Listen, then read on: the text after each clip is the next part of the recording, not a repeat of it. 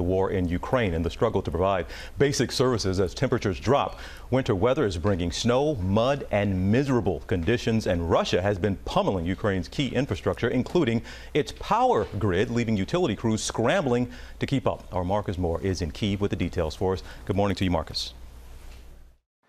TJ, good morning. President Zelensky is urging residents across the country, and particularly here in Kiev, to save as much power as they can. Also, prepare for the possibility of another wave of missile strikes as Russia targets the country's critical infrastructure in an effort to freeze the population here. Winter is setting in, and they've already begun implementing emergency blackouts. We were at one of the many warming centers that have been set up across the city here in the event there are more massive blackouts.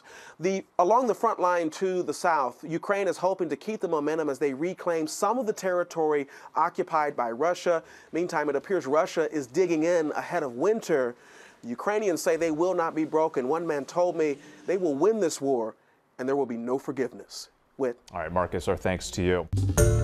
Hey there, GMA fans. Robin Roberts here. Thanks for checking out our YouTube channel. Lots of great stuff here. So go on, click the subscribe button right over right over here to get more of awesome videos and content from GMA every day, anytime. We thank you for watching, and we'll see you in the morning on GMA.